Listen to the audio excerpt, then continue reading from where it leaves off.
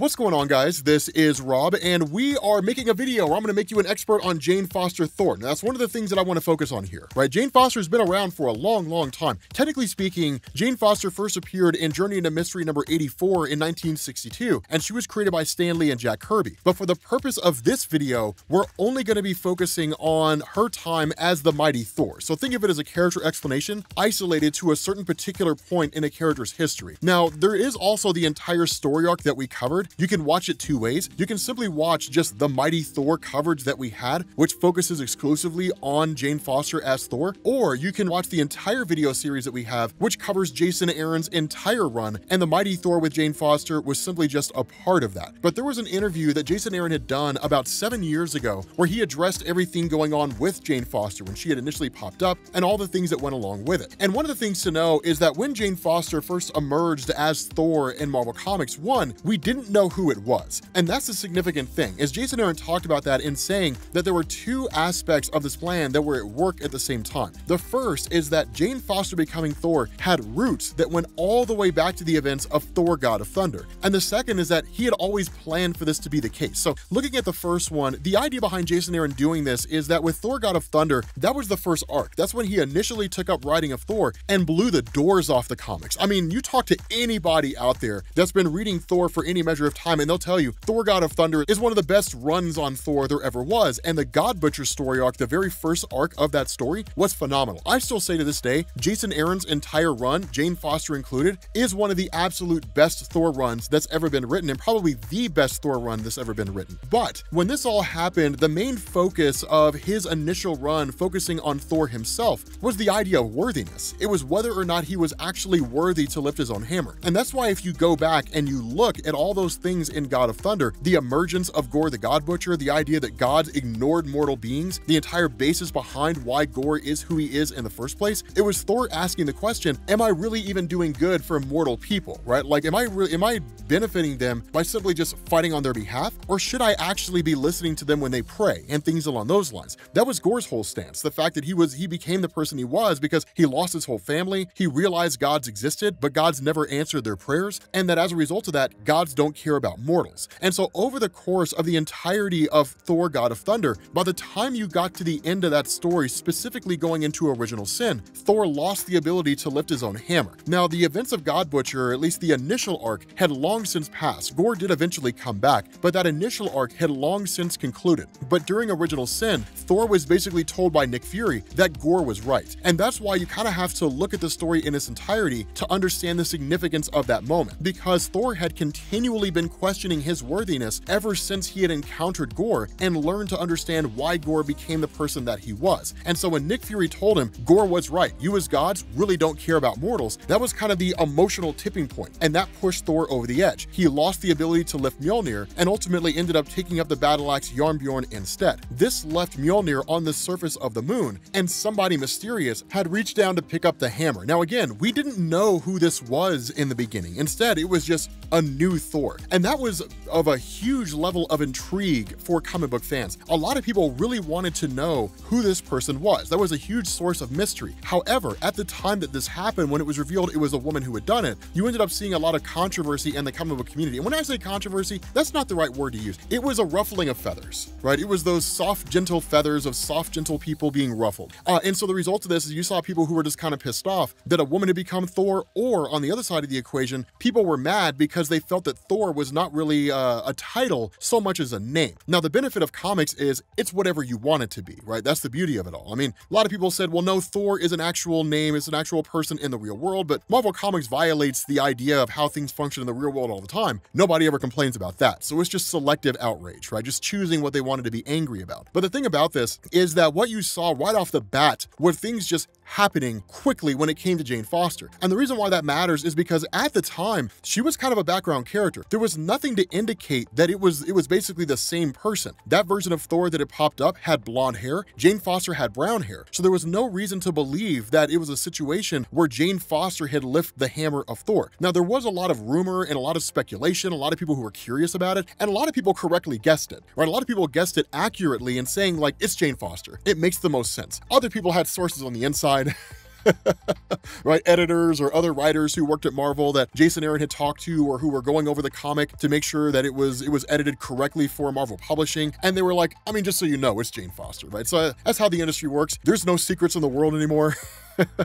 if you don't know, somebody else does, right? It's only a matter of time before they tell you. But the thing about this is that Jane Foster had actually been a part of the Congress of Worlds, which was basically quite literally a congress that represented the different realms of the Asgardian mythos, right? The nine realms. Midgard or Earth was one of those, and Jane Foster was the representative of Midgard on the Congress of Worlds. Now, another major focal point of her character at the time was that she had been diagnosed with breast cancer, and so essentially it was like Jason Aaron was just writing her out, right? There was only only a matter of time before she died. We didn't really have a lot of precedent to indicate that. The only one we did have was the death of Captain Marvel in uh, 1984 by Jim Starlin. And so cancer in Marvel Comics, it does exist, but it really seems to present itself as one of these things where unless you're someone like Wade Wilson with an insane healing factor, uh, cancer will ultimately kill you. It's kind of like this immutable, indestructible thing that nobody can stop. And I think that's just Marvel's way of highlighting the significance of that illness and then applying it to comics to show just how terrible of of an illness it is. But again, all these different things that were going on with Jane Foster at this point in time, none of them indicated that it was Jane Foster who was Thor. And in fact, all these clues indicated that it wasn't her, right? How could a person with cancer lift the hammer of Mjolnir, which I guess is possible, but then go on to become Thor at the same time? She was basically dying. She was undergoing chemotherapy. She was incredibly weak. None of it really seemed to make any sense. But focusing on the publishing side, and in fact, one of the questions that a lot of people have is why is Jane Foster referred to as the Mighty Thor. So that is as much a publishing initiative as it is a name in the comic. And the reason why is because at the time, uh, while Odinson had lost the ability to lift his hammer, his story was still being wrapped up in his own Thor comic. And so it wouldn't make any sense for Marvel to come along and publish two comics called Thor. It just doesn't do that. Even with Spider-Man, when you had like five different Spider-Man comics going at the same time, you only had one amazing Spider-Man comic. Then you had things like Sensational Spider-Man, The Web of Spider-Man, Friendly Neighborhood Spider-Man, so on and so forth but they all weren't called Amazing Spider-Man because it would have been very, very difficult to keep track of all the comics themselves. And so as a result of that, when Jane Foster initially popped up, since Thor Volume 3, which had started with J. Michael Straczynski back in 2006, was still going on, what you got was simply the Mighty Thor comic. And so when the Thor Odinson comic, when Thor Volume 3 concluded, then Jane Foster's The Mighty Thor was renamed to Thor Volume 4. And then by that point, Odinson was just kind of shuffled off to Avengers and New Avengers. And the reason for that is because at that point in time, Marvel was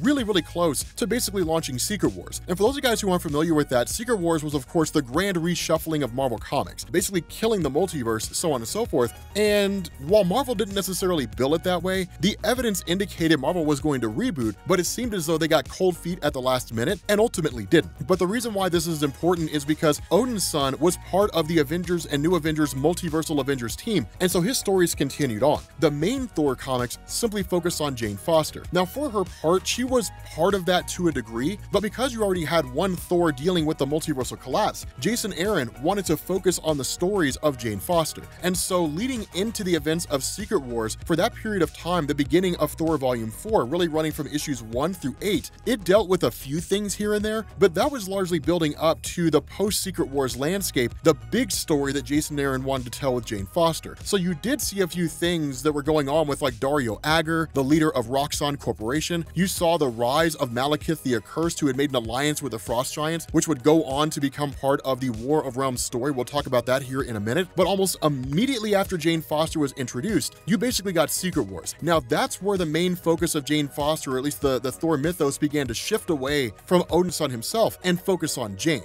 And the reason why I say that is that with the tail end of Avengers and New Avengers basically coming to a close, and with with the launch of Secret Wars issue number zero, it was the last two universes in the multiverse crashing into each other. You had the main Marvel universe, then you had the Ultimate Universe. And so what you got was Reed Richards and Black Panther and Spider-Man, Peter Parker, Miles Morales, and a few others, including Jane Foster, aboard a multiversal raft that would basically survive the collapse of the multiverse. And so when you got into Secret Wars and you essentially saw the creation, or at least the formation of Battleworld by Doctor Doom, who would absorb the powers of the Beyonders, Jane Foster Was among the heroes that had survived the multiversal collapse and woke up on this world, or at least stepped out into this world from that raft. And so what you saw following that point was basically the stories of the characters branching out into their own themes. Jane Foster found herself part of the Thor Corps, which was basically the police force of God King Doom on Battleworld. But realizing that this new battle world was essentially the result of a combination of what was left of the multiverse merged into a singular location, that the memories of everybody on this entirety of Battle World outside of those who survived the raft had just been modified over time by Doctor Doom to where they didn't remember what their universe was supposed to have been. As far as they were aware, things had always been this way.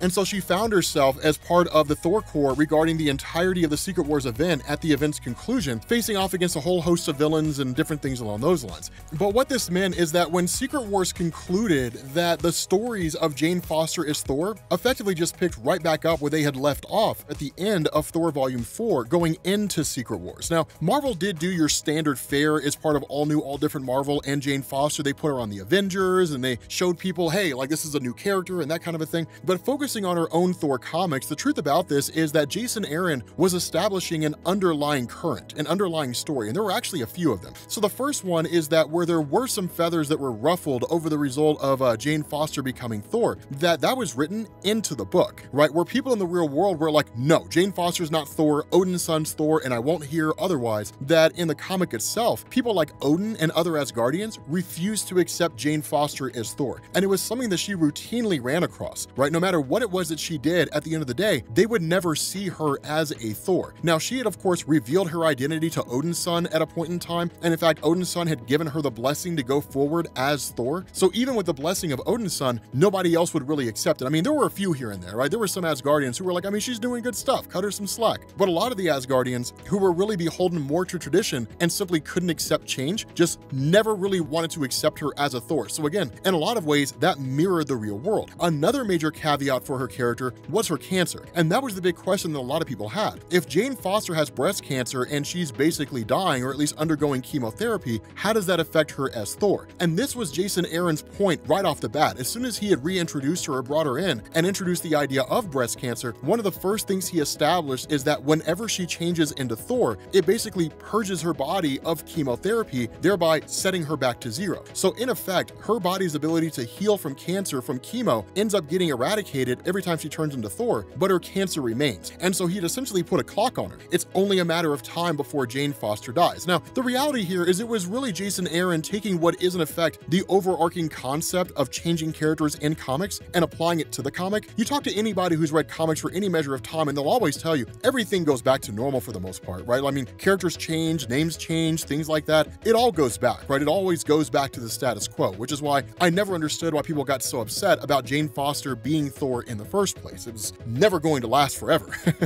uh, but the other thing that was going on is as far as the larger story arcs were concerned, that Jason Aaron was building up to something called the War of Realms. And the War of Realms was this just great story. It was a phenomenal story. It largely centered around Malekith the Accursed. And so what you had was really Jane Foster playing double duty. That on one side of the equation, she was fighting alongside the Earth superheroes, the Avengers, people like that, against various threats. And then on the other side, you had Malekith the Accursed who was traveling around to different realms, the various realms, conquering them, subjugating them, and then you know expanding his own army and just going after realm after realm after realm. So it was this great big huge conflict that was out there. There were some stories that Jane Foster had where she was never really a main focus. A lot of those were crossovers. So you're looking at things like Pleasant Hill, you're looking at things like Secret Empire, all of which were great stories in their own right. I mean, don't get me wrong, they were phenomenal stories. But the question of whether or not Jane Foster would ever actually end up staying Thor for any real measure of time was definitively answered by Jason Aaron in a story called The Death of the Mighty Thor. Now, as the name suggests, this was the final story arc of Jane Foster as Thor. It was not the death of Jane Foster, it was really more just wrapping up the arc of her being Thor, and this focused largely on the Mangog. And this was a very, very particular and really an important story here because really looking beyond the publishing side and focusing more on the character of Jane, over the course of her time as Thor, again, she had constantly been trying to prove herself to the Asgardians that she was as much of a Thor as Odinson was. But almost every step of the way,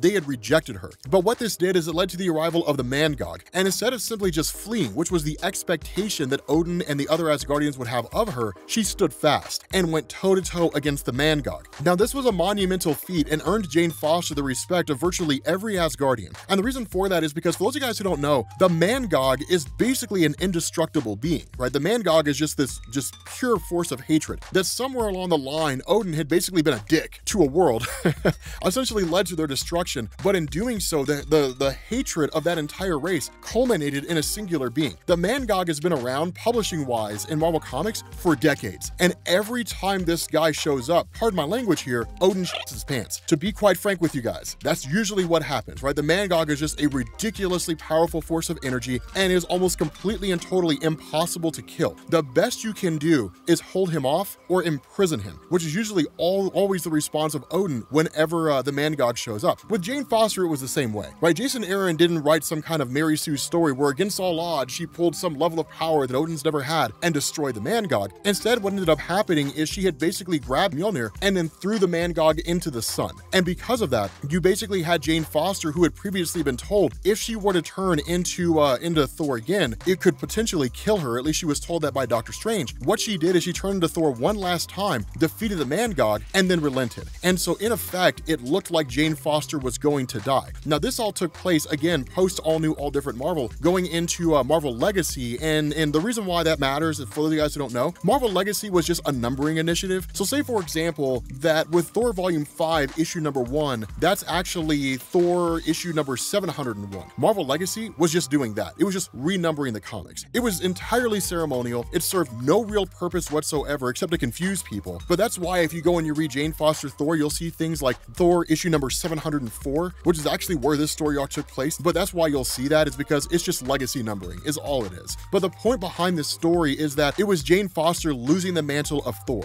that realizing if she kept going, she would succumb to her cancer. What ended up happening is it was believed that she had died. And so Thor had tried to resurrect Jane Foster, and with the help of Odinson, was basically able to pull it off. And when I say resurrect, I mean it actually happened. Jane Foster was dead, and her spirit was at the halls of Valhalla, and she was gonna go in, and that was gonna be the end of her. But they ended up bringing her back, and she chose to come back as well. But she devoted all of her time to her chemotherapy, and then convinced Thor to take his hammer and his title back. And that's how you ended up getting Odinson going back to becoming the Thor that we all knew and that we all basically loved. But for the most part, that's the story of Jane Foster as Thor. Now, there is a little bit more that goes on there, right? She ended up becoming a Valkyrie later on down the line, but that's really how all that works, right? That idea of Jane Foster Thor, again, it's really more explaining a story arc as opposed to doing a traditional character uh, explanation where we run over like their entire publication history in a, in a more condensed way. But that's effectively what took place. But if that sounds cool to you, like I said, I have the entire Jason Aaron run. You're welcome to check it out. The Jane Foster uh, Mighty Thor run is cool, but it also fits a lot better if you focus on the entirety of the Jason Aaron run from Thor God of Thunder running all the way up until, God, what was it? It wasn't the War Thor storyline. It was uh, the final one where you had like God Thor, where Thor basically became God. Gore came back, he became a universe, like all that kind of crazy stuff. I know it sounds nuts. Believe me, it's awesome. It's a lot cooler than it may sound.